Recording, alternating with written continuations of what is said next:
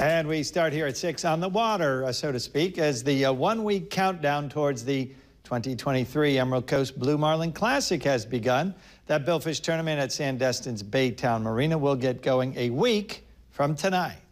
A checklist right now, just making every, uh, you know, make sure the team, where, everybody's in order and, uh, you know, ready to get dialed in for the tournament. Um, First day is Wednesday, so that kind of kicks off our festivities, and then fishing starts on Thursday. So just checking out our vendors, bringing in some boats. We got about five boats in right now.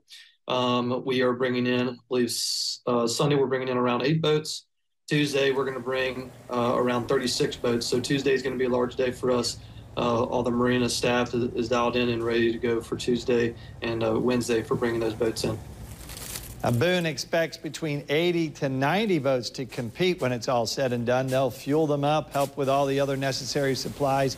The boats will depart next Thursday in parade-like fashion. Weigh-ins next Friday and Saturday. The prize purse should approach 2 million bucks once again in the ECB.